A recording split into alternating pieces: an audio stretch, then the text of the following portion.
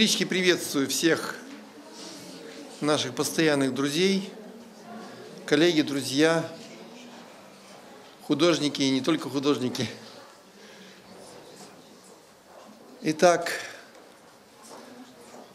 я хочу сказать, что сегодня невероятное совершенно событие. Сегодня мы открываем выставку одного из тех гениев 20 века, которые практически не были нам, не, которые были недоступны э, не только советскому зрителю, да и российскому зрителю тоже были недоступны.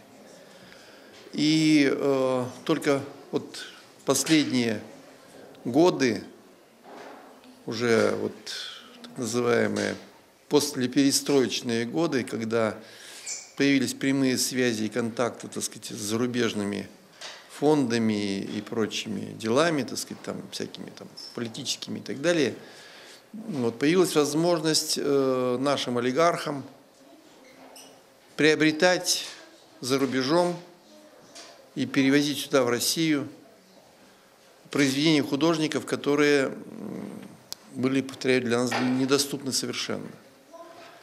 Есть такой, как вы знаете, Олег Андреевич Гусев – один из наших уральских олигархов, фигура очень неоднозначная, очень по-своему интересная, имеет теперь в Екатеринбурге грандиозный совершенно центр, называется музей, э, Международный центр искусств, главный проспект, огромное здание, реконструированное в современном духе и так далее – где экспонируются и его собственные коллекции, и организует он временные тематические выставки и так далее, и так далее. И в том числе этот господин, олигарх, значит, он э, на собственные деньги приобрел целый ряд э, работ и того же Сальватора Дали – и Пабло Пикассо, и Марка Шагала, и так далее, и так далее, и так далее. То есть там и Рене Магрит, и многое чего другого. То есть э, прежде мастеров 20 века.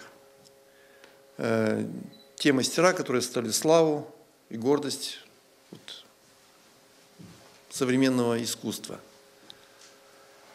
И э, именно в галерее на Ленина 8, в этом центре искусств, главный проспект, сейчас экспонируется наша кающаяся Мария Магдалина с сестрой Марфой и целая выставка наша «Рубенс и его время».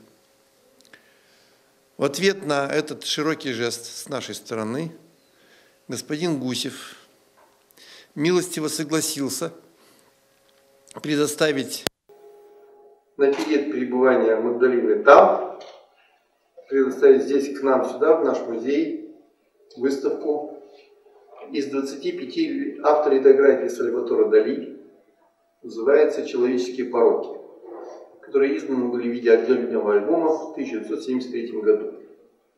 Самое интересное, есть интерес в том, что Дали э, э, сделал эту серию по мотивам э, знаменитого романа Рабле, Грагатюа и Пантагрюэль. Вот, и, значит, он предоставил возможность нам, самим зрителям, додумать, догадать, до, дойти до... Каждый должен сам решить, что в этих листах изображено. В любом случае, э, это, эта выставка представляет грандиозный совершенно интерес в художественном и э, в каком хотите плане. Вот. И э, эта выставка, естественно, для нас э, очень таким, эта выставка является таким первым, что настоящим э, этапом, или даже не этапом, а скорее первым опытом э, меж Э, такого, как бы, как это говорится, частно-государственного партнерства, как теперь говорят, да? Вот такой вот опыт вот с частным бизнесом мы получили.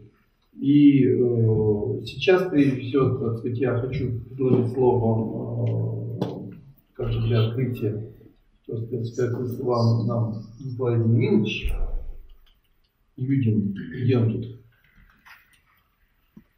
Прошу ему сказать слова, а дальше мы с вами посмотрим фильм «Священное творчество Сальватора Дали». Спасибо огромное, конечно, да, что мне слово предоставлено.